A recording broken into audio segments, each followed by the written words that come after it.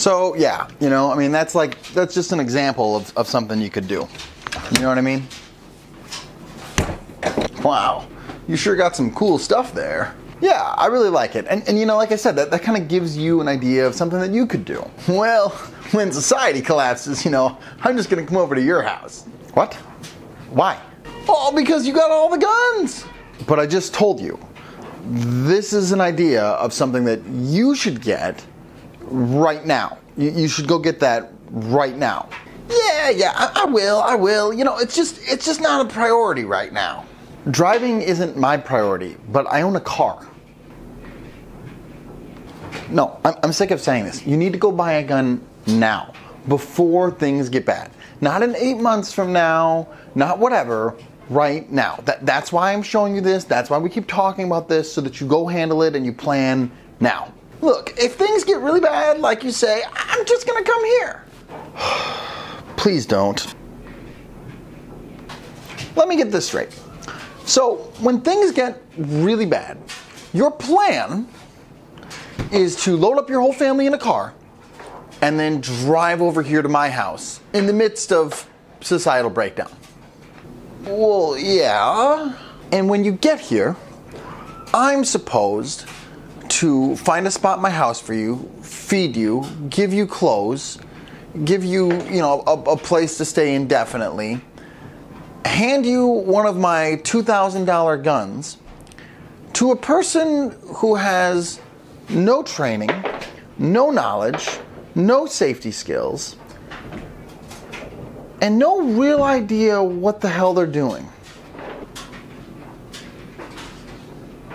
Well, what's wrong? I mean, you can only use one gun at a time, right?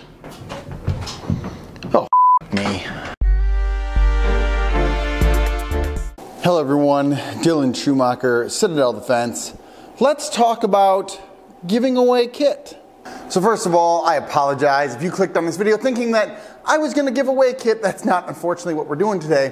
What we're talking about today is kit that you can set aside to give away to someone else. Now, when I originally heard about that concept or thought about it, I always kind of thought like, to who? Like, why are you the armory for the neighborhood? Like, that's just stupid. However, as time has gone on and as I've thought about it more, uh, I have tried to change my mind on that a little bit. We all have that one friend or maybe multiple friends who we tell, hey, you know, you should really own some basic equipment. You should have a rifle and a pistol and some supporting gear, you know, just in case things get bad or you need to defend your house or someone breaks in at night or whatever.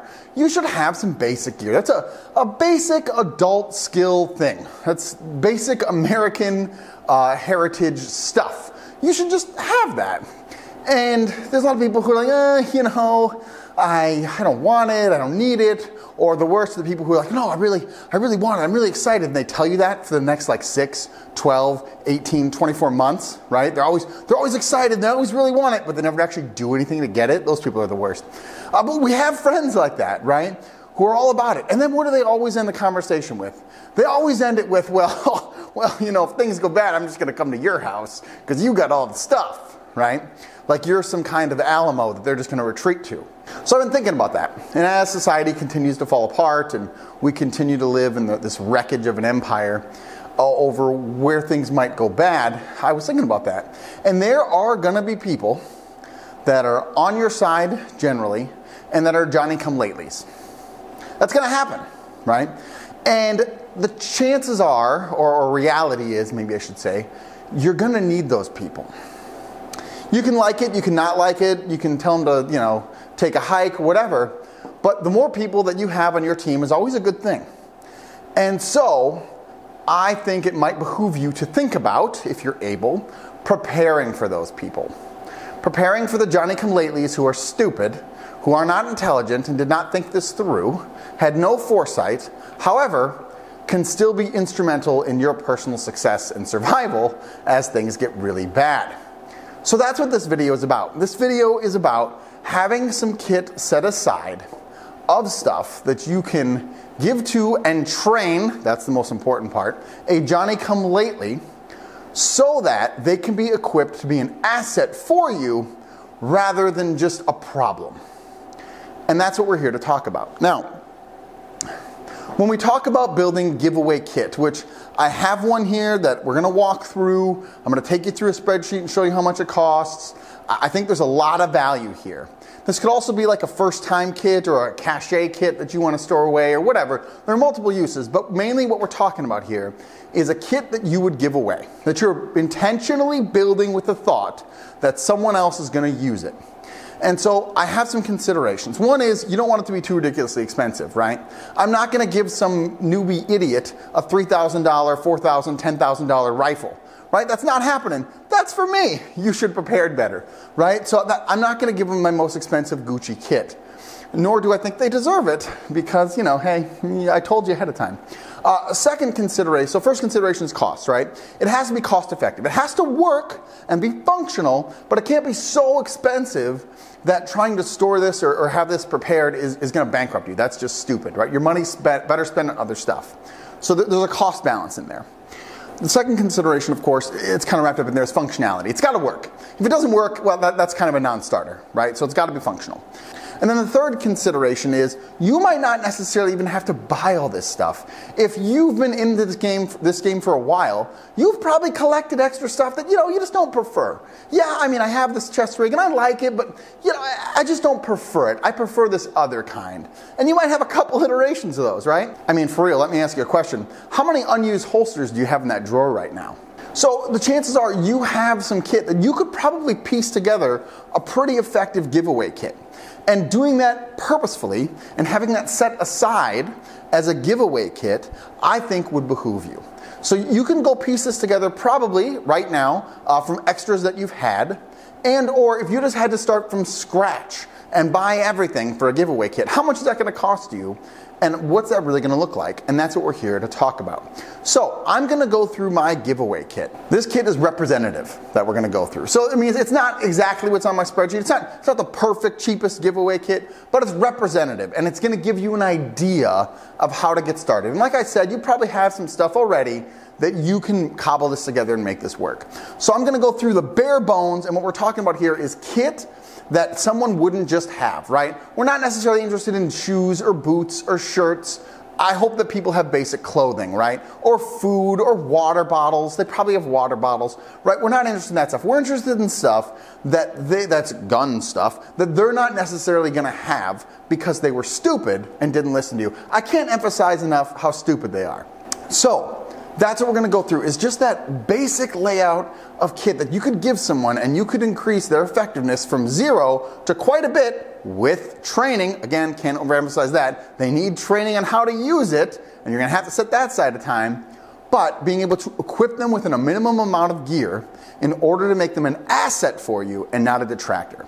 So let's go through what that gear is and let's go over to the tabletop. So remember that some of this stuff is representative and you can, of course, make substitutions, additions, attractions at your leisure. This is really to stimulate your thinking. Uh, I was watching some Risky Krisky video, and I think that was the final impetus for this video where he was talking about having a warlord mentality. So keep that in mind as we go through it, and then we'll go to the spreadsheet right after this. So the first thing up, of course, is a rifle, okay? Uh, this is a PSA rifle. In my spreadsheet here, I'll talk about we have a PSA rifle and really you can get an upper and a lower for like under 500 bucks uh, and you're pretty good to go minus a rear sight you can put a Romeo red dot on it. This is on a Scalar Works mount that I picked up from one of my buddies who was getting rid of it. Uh, we won't use that, right? You can just use the mount that comes with it. But get that Romeo red dot. I like the red dot because remember, you're giving this to someone who is half trained and is only going to have the training that you give them. And a red dot is much, much easier to use, right? A red dot's much easier than lining up this and this. Right? Can it be done? Yes, sure. This is much easier, so give them every advantage you can, right? Now, if you're like, I don't want to spend that money, I just want to put, you know, a Magpul flip-up sight back here for 40 bucks and call it good, hey, I get it, I understand. I just think that this might be worth the investment, both for training and actual use, right? The other thing, of course, I have on here is a light, right? Uh, this happens to be a Surefire handheld. In my spreadsheet, I have a Streamlight handheld up here, right? And then I actually have a Inforce. Here I barrel clamped it, which you can do, right? You can just put a barrel clamp on it. Uh, usually those PSA rifles come with that clamshell handguard, and I have an Inforce uh, mount that mounts to that clamshell handguard. Again, it's simpler. right? But if you want to go this route, you know, get a mount and a barrel clamp, you totally could. Might even be a little bit cheaper, something to keep in mind. I am assuming you have magazines. Uh, if not, you're gonna have to add that to the cost, right? But you're a good boy, you probably have 100 plus magazines already. And then just a sling, right? This is just a Magpul sling. Um, you can just attach that to that front swivel plate, which I took off here because I put this handguard on, um, and then just the rear stock, right? The rear stock, the stock, uh, and then boom, you got a sling. You're set to go. Okay? So that's the rifle. That's the majority of the cost of the whole setup is the rifle. So if you're like, hey Dylan, I have 15 rifles, well, hey, good for you. You're ahead of the game. Okay? Uh, next, medical. So you do have to have medical. That's again, we're talking about stuff that people aren't going to buy because it's gun stuff. So I like two tourniquets, right? Again, representative. Here I have a uh, SOF-T Wide, and then I have a cat right here. Okay, but two cats is fine, and then a Dark Angel medical kit. Huge, huge fan of the Dark Angel medical kit. I don't have a medic pouch because either you can stuff it in your chest rig or stuff it in a cargo pocket or whatever. You can make that work. But two tourniquets and an IFAK, and they're going to be pretty good to go medical wise, right? Uh, for PPE, you know, we got the uh, ears. I'm a big fan of the Howard Leights, okay? Uh, because they can still hear you. Again, think about that. You're someone who's not trained. You're going to have to tell them what to do all the time. Having electronic ear pro so they can hear you and not be shell shocked from all the loud sounds is going to help you a ton. Could you do it cheaper? Yes. You could not have Ear Pro. You could have foamies. You could get non electronic Ear Pro. You can do a lot of things cheaper. But this, I think, is one of those things that's worth the money because they're going to need direction from you because they don't know. And if they did know, they would have already been ahead of this, right? So, Electronic Ear Pro, I think, is going to help a ton. Uh, in this little Crown Royal bag here, I just have some eye protection, right? And some extra foamies. But eye protection of some sort, right? Something that's rated. Uh, you can go to Home Depot and you can buy eye protection. You can get it off Amazon, whatever. I'll have a link in the spreadsheet here that I show you in a minute. But eyes and ears are important, right? Why let them get a silly injury that completely takes them out when you can prevent that? Um, rather use this stuff than this stuff, right? So again, I think those are worth it. Now you could say, oh, I'm just going to assume they have eyes and we can find it. Again, totally fine. This is up to you. Think, think big picture. Uh, next piece is a radio. Now this is a give or take, to be honest. I like having a radio because I like being able to stick someone at an LP/OP, even if that's just in front of a window, and say, hey, watch this street for 12 hours, radio me if anything pops up. Okay? Like you can do that, and having a radio is going to greatly expand that capability. Are they going to need a radio all the time, every time? No. But to have a couple extra radios around isn't a bad idea so that you can communicate with them, right? At least if you think of one per buddy pair, that could be helpful, right? Because you can, you can stash guys certain places for certain stuff. So I like to have extra radios just for that capability. Again, this greatly expands your ability to communicate and do stuff. So 25 bucks for a Baofeng radio, I think you'll be okay. If you want to hate on the Baofengs, that's fine, whatever. Uh, this is so the other two pieces, key pieces of kit, right? You have a chest rig, right? So this is a Condor chest rig. It's like polyester. It's not nylon. Okay, so that's fair. And if you want to hate on it, that's totally fine.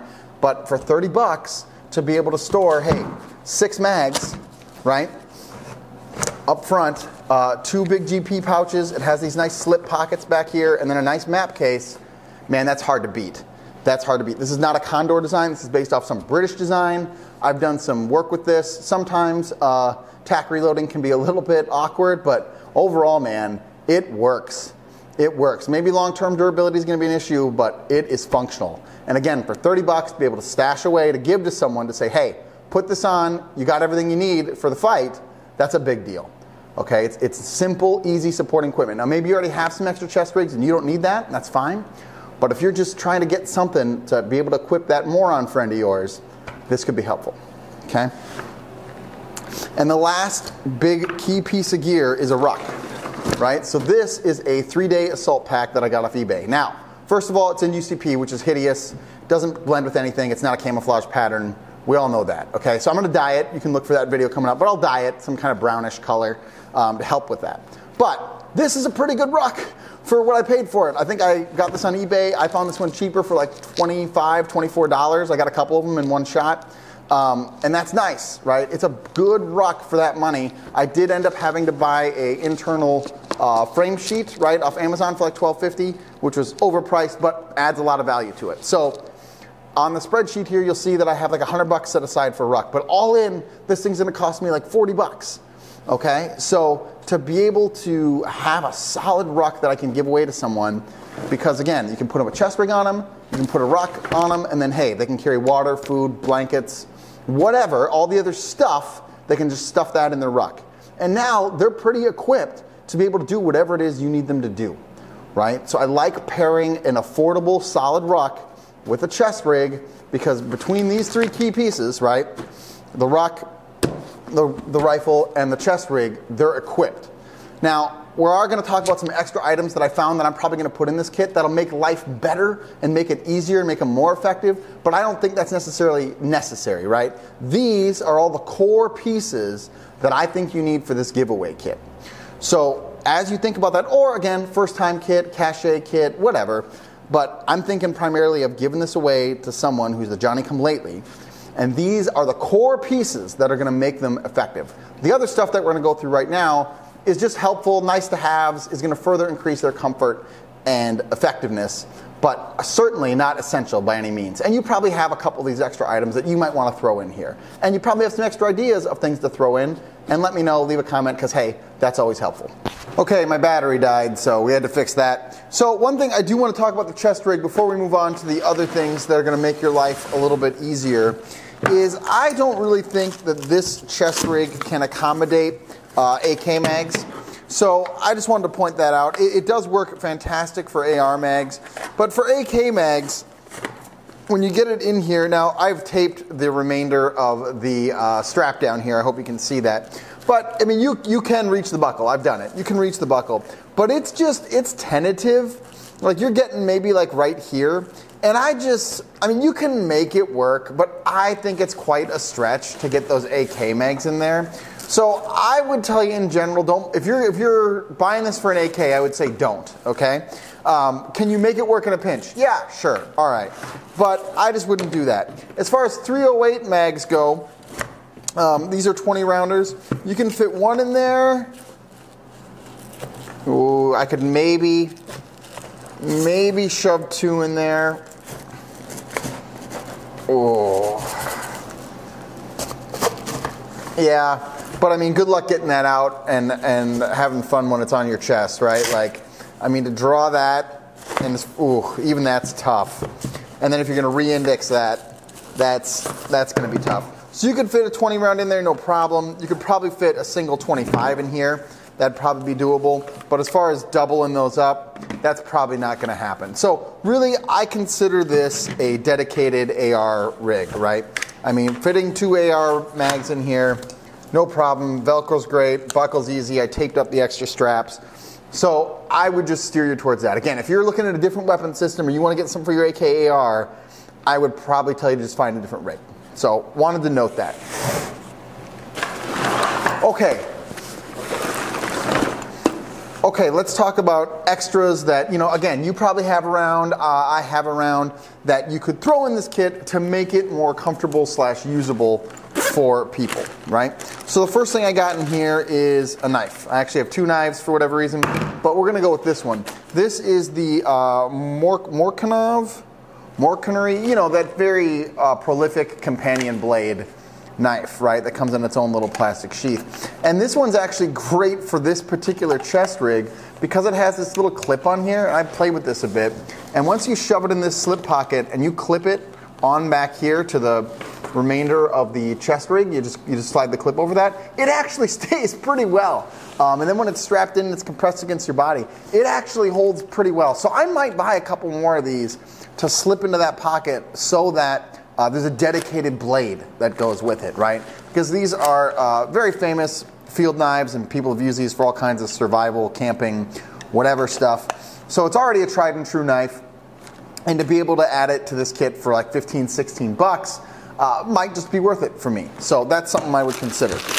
Uh, MRE, this is a civilian MRE. I happen to have a bunch of these, so I'll probably stuff a couple MREs in here because, hey, why not? It, it's beneficial to have in there, right? Especially if I'm going to use it as a cachet or anything like that. Uh, some tape, right? Always have tape. Uh, I just wrapped some tape around an old hotel key card. Uh, big fan of having tape, particularly for this backpack because it's going to have a lot of loose straps. And these old bungee things are absolutely worthless. These are gonna go in the trash. And to be able to have tape to tape up those straps is gonna make this pack considerably more manageable. So tape is helpful to keep on hand. Uh, this is a water bottle pouch. This is just some old high-speed gear water bottle pouch that I have. It's black. Uh, bought this long time ago. And uh, I might slap this on the outside of this um, because it's that universal kind of design. It'll accept any kind of Nalgene or any typical shaped water bottle. I added some uh, shock cord over the top to kind of tie it down to keep water accessible. I also have some other water bottle pouches that I might mount on this exterior MOLLE right here, right? And uh, sorry, you can't probably can't see it super well, but there is a couple rows of MOLLE here. So I might mount that right there. And I know I said water bottles weren't part of it, but if I could put some canteen pouches and with some canteens in here, that makes water much more accessible. And as you know, water is kind of a big deal. Uh, so to have that kind of built into the system already might behoove me and be helpful. Uh, I have a little fire starter kit uh, around, just an extra fire starter kit that I might throw in here because that's always helpful. Uh, a toothbrush. This is an old kid's toothbrush. Again, think for cleaning and maintaining the gun, right? So if you can put like an old, just take an old toothbrush, or next time you change your toothbrush out, which you probably do anyway, be honest with yourself. Take that old toothbrush, stuff it in a bag, stuff it in your giveaway kit because then you can use that to keep cleaning your guns. That's a that's a freebie. That's kind of a no-brainer. Uh, a hat, again, this is just some old 511 hat that I got as part of something I bought a long time ago, right? Uh, hat, keep the sun out of your eyes, keep your face from getting sunburned. That's kind of a big deal if you're going to attend people outside all day. Um, this becomes a utility thing, not a fashion thing, a utility thing to be able to have that and uh, maintain their effectiveness longer outside, especially if it's summer. Uh, paint can key, I have like a million of these from Home Depot, right? Because we buy and paint our house a lot. So, um, you know, I threw this in there because again, clearing those malfunctions, etc. That's just a nice extra to have. And then the last thing I got in here is this came with my radio, but this is the little earcom mic, right, for the radio that goes up. So you could run this inside your ear pro, um, and now you can listen to your radio on silent mode, you know, which is cool to keep it all inside your ear pro. So I'm to keep that in here because it just pairs with the radio and gives you more capability. That's it. That's all I have for my little possible extras. You probably have a ton of possible extras. You probably have other things that would be a good idea to throw in here, so let me know. I hope that this has been helpful, and I hope that this gives you some ideas about a building giveaway kit that isn't super expensive, that's going to be functional when you need it, and that can hang around with you to give to your idiot friends. So let's go over to the spreadsheet here and take a look at cost for all this stuff. Okay, so I just want to come over here to the spreadsheet to break down the prices for you guys so that you can understand, hey, this really can be done under 1200 bucks. So the first thing I have in here is the rifle, right? And I highlighted that all in green. Uh, and you know, with the rifle, you're looking at 740. So that's definitely the majority of the cost. And even in here, there are ways that you could probably get this cheaper depending on what you want to do right? So I just have that PSA upper and lower in here because I'm a big PSA fanboy. You know, that upper includes that A2 front sight, uh, bolt carrier group, charging handle, that kind of thing. Uh, so, you know, you have a complete rifle essentially right here minus a rear sight. I do have the Romeo 5 in here. Now, you could not go with this uh, if you wanted, right? You, you, don't necessarily need to do that.